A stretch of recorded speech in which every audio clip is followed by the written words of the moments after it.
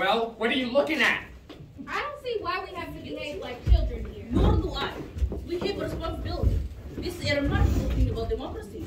That we are, what is the word? Notified. We're notified by mail to come to this place and decide the guilt or innocence of a man. I mean, we have not known before. We have nothing to gain or to lose our verdict. This is the reason we are strong. We should not make it a personal thing. Thank you very much. Why do you thank me? You forget. It's good to be reminded. I'm glad that we're gonna be civilized about this. Well, we're still nowhere. Well, we're somewhere or getting there, maybe. Maybe. Um, who's, who got an idea? I think maybe we should try another vote. Miss Foreman? It's alright with me. Anybody who doesn't want to vote? Let's vote. Yes, vote. Alright, let's do it. You know, I want an open ballot. Let's all call out our votes. I want to know who stands where. That sounds fair. I'll call a jury number. I vote guilty. Number two, Uh, not guilty. three, Guilty. four, Guilty. five, Not guilty. six, Not guilty. seven, Guilty. eight, Not guilty. nine, Not guilty. ten, Guilty. eleven, Vote guilty. twelve, Guilty? That's six to six. Can't agree on You know, anything. I'll tell you what. The crime is being committed right here in this room. the vote is six to six. Yo, I'm ready to walk into court right now and declare a hung jury. There is no point in this going on anymore. I'd like to know why you changed your mind, why you changed your mind, and why you did. There are six people here who think that we may be turning a murderer loose into the streets. Emotion just won't do. Why? It would seem that the old man didn't see the boy run downstairs. I do not think it likely that the old man heard someone scream, I'm gonna kill you, old man dream. And if the boy did scream he was gonna kill, then we have the authority, then we have the authority to prove that this man might not really mean he's gonna kill. Why don't we take it into the judge and let the kid take his chances with 12 other guys? The vote is six to six. I don't think we'll ever agree on anything. It's got to be unanimous, and we're never going to convince her. Well, at first I was alone, and now five other people agree with me, so there is a doubt. You can't ever convince me that there's a doubt, because I know there isn't no doubt. I'll tell you what. Maybe we're a hung jury. It happens sometimes. We're not gonna be a hung jury. But we are right now. We're our perfect balance. Let's take it into the judge. If there is a reasonable doubt, I don't see it. But the doubt is there in my mind. Maybe we should vote. What do you mean, vote? Not again. Hey, I, I still want to know. Vote on what? Are we or aren't we a hung jury? You mean that we vote yes, we are a hung jury, or no, we're not a hung jury? That's exactly what I was thinking of. We can't even decide on whether or not the window should be open. We need a majority vote. Right? The majority wins. If seven or more of us vote yes, that we are a hung jury, then we'll take it into the judge and tell her that we're a hung jury. Right. If seven or more vote no, that we aren't a hung jury, we go on discussing it. Doesn't seem right. It's the only solution. I agree. It's the only way. Anything to this. Is everyone agreed? Seven or more votes yes, and we take it into the judge? Now, let's, let's call out our votes. All right. I say yes. We are a hung jury. Two, No. three, Yes. four, Yeah. five, No. six, No. seven, Yes. eight, No. nine, No. ten, uh, Yes. eleven, No. twelve. Yes. Oh no! Vote is six to six. I went along with the majority vote on this question. And I didn't agree with voting that way. Not really. And I still don't. So I'm changing my vote. I say no. We're not going to be a hung jury. I believe that the boy is guilty beyond a reasonable doubt. There are some things I want to hear from those people who changed their minds. Then we aren't hungry, so we go on. Good. We go on. Why did you change your mind? She seems so sure of herself, and she's made so many good points. Honestly, the only thing I've seen him do is get mad and insult people. Does the anger and the insult change the guilt of the boy? He did do it. Are you going to sit here and turn a murderer loose because one of the jurors gets angry that a murderer is being turned loose? That's true, I guess. There's a reasonable doubt. I don't think so. The track is straight in front of the L. Let's take that point. L trains make a low rumbling noise and screech when they go around curves. And the old man heard a scream, which is high pitched. And it is a tenement and they have thin walls. Please remember that there weren't any any fingerprints on the knife, and it is summer, so gloves seem unlikely. Good, good. That's it. That's it. And it may have taken the murderer a second or two to get the handkerchief out and wipe the fingerprints away. Right. Now, I want you to listen to this woman. She's got the goods. Like, what more do you want? You know, why don't we just time this one too? To see. Uh, just what are we timing? Let, let's hear her. What are we timing? Are we reconstructing the killing or something? Yeah. Let's do that. Let's reconstruct the killing. I think a murderer could use up 30 or 40 seconds pretty easily at that point. Let's reconstruct it then. Yes, let's. Here, you be the one that does the stabbing. I'll, I'll do it. Fine, then you be the one that gets stabbed. You're younger than I am. And don't forget, you take seconds to fall. And he was found on his side, his right side. So fall and roll onto your right side. If someone hates another person enough to kill them, don't you think it's reasonable to assume that the murderer will want to look at his victim for a second or two? Divorce yourself from this particular case, just human nature. It seems reasonable. Hey, wait a minute. He stabs him and he falls on his right side, or the father did, but stabbing someone isn't like shooting them. Even if it's right in the heart, the father still would have worked around on the ground, writhing maybe for a few seconds. That's true. There would have been enough oxygen in his system to carry him for about two or three seconds. I should think. Yeah. Wouldn't the father have cried out? Maybe the kid held his mouth or something. That also seems possible. Also, there's another point that we might bring out. Anyone who is clear enough mentally to wipe the fingerprints away after murdering someone, that person is also clear enough mentally to look around the apartment, or the room in this case, and check for any other clues. It would just be for a second or two, but they would still look around. Good, good. It's getting better and better. We're trying to make it clear. One doesn't talk about quality when murder's involved. Well, let's do it. Um, about this on the fingerprints. The kid wiped the fingerprints off the knife. What about the doorknob? If I saw a man coming into my home, a man that hated me, and he was wiping the doorknobs as he came in, it would give me an uneasy feeling. So the doorknobs was been wiping, wiped after the killing, and this too would take some time. You're right. You time the last one. Why don't you time this one too? Okay. Stamp your foot when you want me to start. Okay, just a second. The hand has to be at 60. I'm gonna kill you. Ah!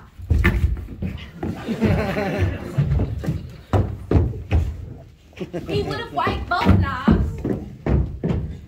Stop. 15, 20, 25, 29 and a half seconds, I'd say. And whoever did murder the old man, and I think it was the kid, he still had to run down the stairs. At least one flight of stairs. You see? You see? The old man may have been wrong on how long it took him to get to the bed to the bedroom door, but in view of this, I think it's reasonable to assume that he did see the kid running downstairs. Okay, okay. So now both time sequences check. The one you did and the one we did. What with running downstairs and everything. It does pretty much check out on time. Sure, he's an old man who wants attention. He's probably right, but the old man feels the way everyone does. A life is at stake. So the story of the old man may well be true. Except for the fact that he absolutely swore under oath that it was only 15 seconds. And we all seem to agree that the actual time was between 25 to 40 seconds later. So you are now admitting that the old man lied in one case but told the truth in the other. I can admit this does tend to confirm the story of the old man, but in part he is now a proven liar, and this is by your own admission. Okay, while that may be true, that the old man lies in part, I I think it'll change my vote once more. Um, guilty. And uh, what about you? What do you think now? I'm not just sure what I think. I want to talk some more. At first, I thought guilty. Then I changed. Now, I'm sort of swinging back to guilty. And uh, what about you? No, I'm in real doubt. Real doubt. Oh my gosh. I, I say guilty. I was right the first time. Now we're beginning to make sense in here. Makes so much sense to both guilty. It seems to be about nine guilty and three not guilty. One more question about the old man downstairs. How many of you lived in apartment buildings?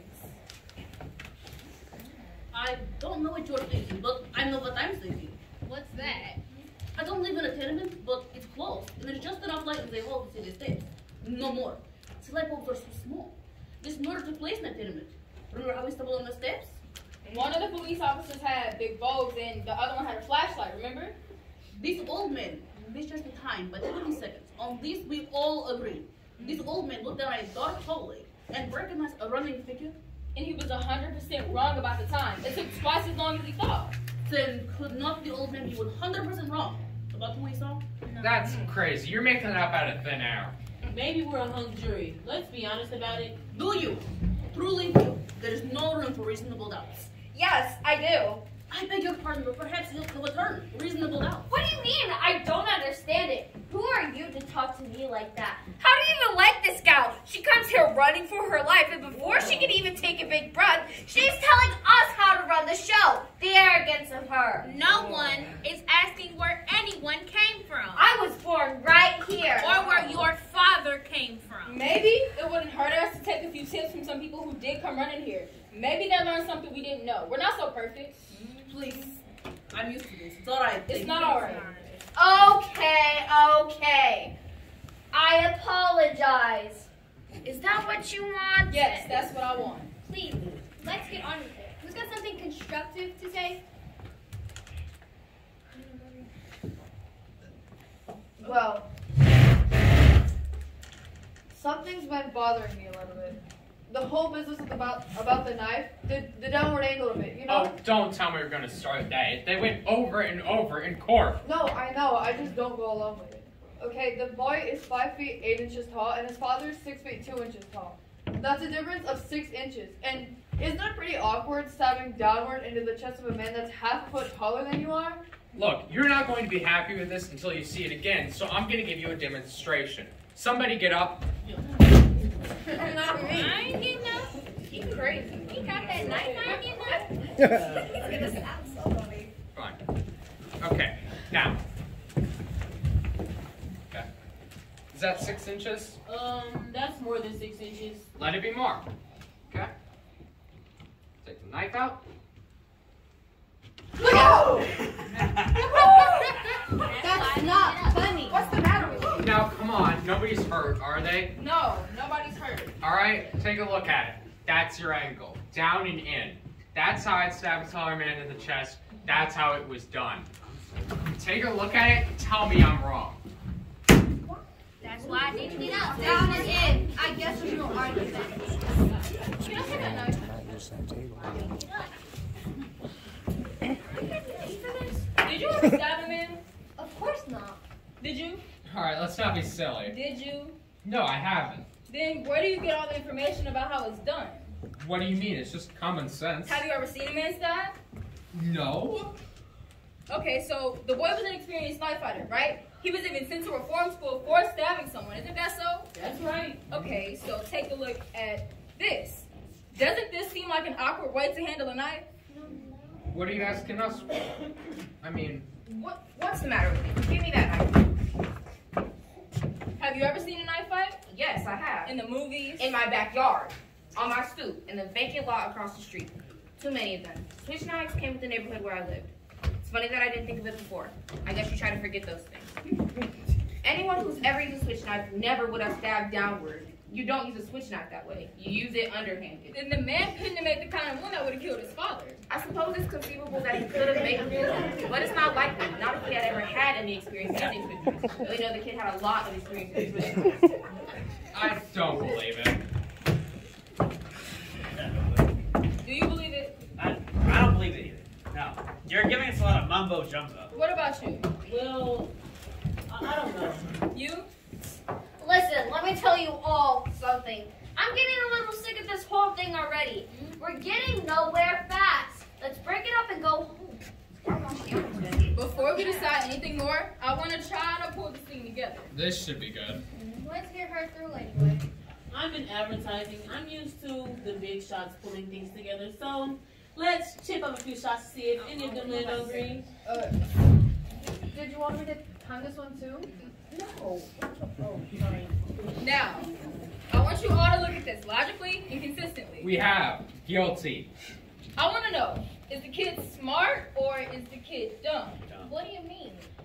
This is a kid who was going to reform school for knife fighting. The night of the murder, he bought a knife, a switch knife. It would then take a very stupid kid to go and murder a man, his father, with an instrument that everyone would associate with the kid. I mean, yeah, he's dumb. However, if he were dumb, then why did he make the kind of wound that an inexperienced man would make with a knife? I'm not sure I understand. To murder someone must take a great emotion, a great hatred, and at that moment he would handle the knife as best as he could. And a trained knife fighter would handle it as he'd been trained. Underhand. Mm-hmm. A man who has not been trained will go overhand. But this kid is being very smart.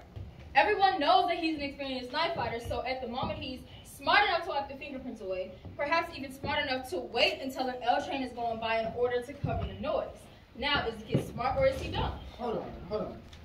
So the woman across the L tracks, she saw the murder through the train. So someone in the train could have seen the murder too, right? A possibility, but no one did that we know of. That would take an awful dumb man doing a murder as a train goes by. Exactly. A dumb man. A very stupid man. A man swayed by emotion. Probably he heard nothing. He probably didn't even hear the L train coming, and whoever did murder the father did it as well as he could. So? This kid is dumb enough to do everything to associate himself with the switch knife, a switch knife murder. But then a moment later, he becomes smart. The kid is smart enough to make the kind of wound that would lead us to suspect someone else, but at the same instant, he's dumb enough to do the killing as the L train is going by. And then a moment later, he's smart enough to wipe the fingerprints away. So to say that this boy is guilty, you would have to say that he's dumb from 8 o'clock until about midnight, and then at midnight, he's smart one second, and then dumb for a few seconds later, and then smart again, and then once again, he becomes stupid. So stupid that he can't think of a good alibi. So, is the kid smart or is he dumb?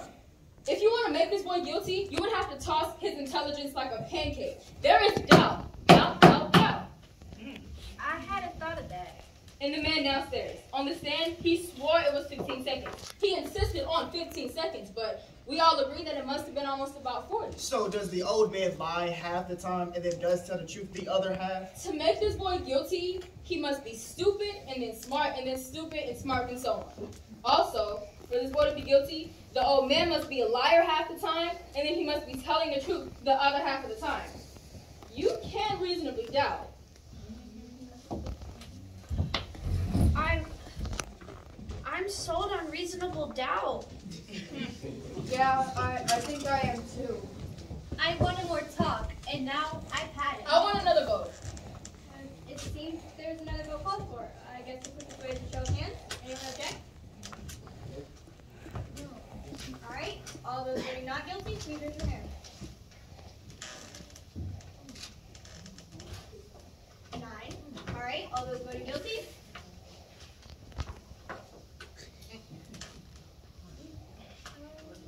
Three. The vote is nine to three in favor of acquittal. I don't understand you people. How can you Look, you know how these people lie. I don't have to tell you. They don't know what the truth is. And let me tell you something. They don't need any real big reason to kill either. They get drunk and bang, someone's lying in the gutter. Nobody's blaming them. That's just how they are. You know what I mean? Violent. Human life don't mean as much to them as it does to us. Where are you going? Look, these people are drinking and fighting all the time, and if somebody gets killed, so somebody gets killed. They, they don't care. Oh, well, sure, I, I. There are a few pretty decent, but that's the exception. Most of them, it's like they have no feelings. What's going on here? I'm speaking my piece, and you listen to me. They're no good. There's not one of them who is any good. We better watch out. Take it from me. This kid on trial? Well, don't you know about them? What are you doing? Listen to me. I'm trying to tell you something. I've had enough. If you open your mouth again, I'm going to split your skull. I'm trying to tell you. Mm, mm, mm, All right, sit down, everybody. I still believe that the boy is guilty of murder, and I'll tell you why. To me, the most damning evidence was given by the woman across the street who claimed that she actually saw the murder committed. That's what I mean. That's the, that's the most important testimony. Okay, so let's go over her testimony. What exactly did she say? I believe I can recount it accurately. She said that she went to bed at about 11 o'clock that night. Her bed was next to the open window. When she turned towards the window, she could look out of her window and see directly into the window across the street. She was tossed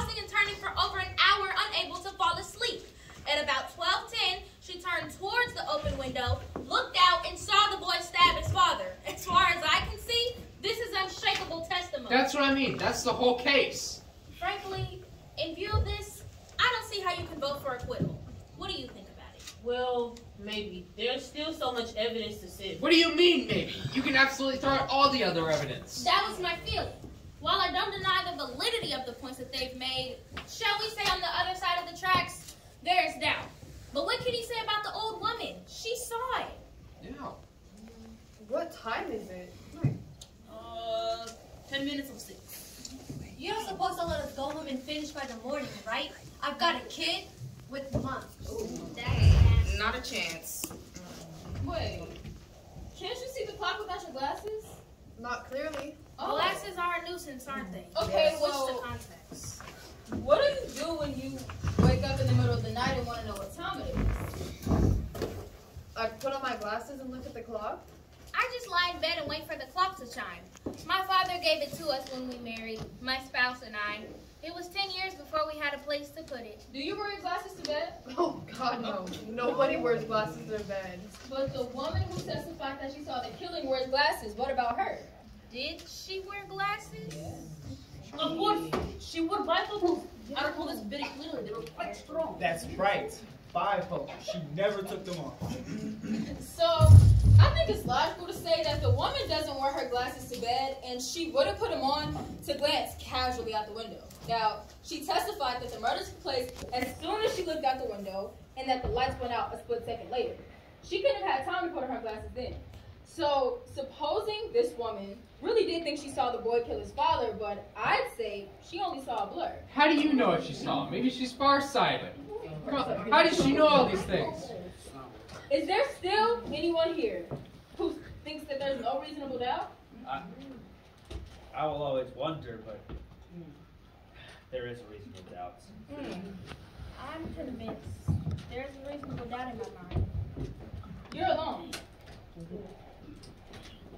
Well, I think the kid's guilty. What else do you want? Your arguments? I gave you my arguments. We're not convinced. We're waiting to hear him again. We have the time. Come on, what's the matter with you? You're the one. You gave all the arguments. You can't just turn now. A guilty man is going to be walking the streets. A murderer. You've got to stay with me. Come on. I'm sorry. I'm convinced. I don't usually think I'm wrong often, but I guess I was this once. There is a reasonable doubt in my mind. We're waiting. Yo, you're not going to intimidate me. I am entitled to my opinion, and it's going to be a hung jury. That's it. I mean, there's nothing we can do about that except hope that one night, maybe in a few months, while you might get some sleep. You're all alone. You know, um, it takes a great deal of courage to stay alone. If it is a hung jury, there'll be another trial, and some of us will point these things out to the various lawyers. Come on. It's time to go.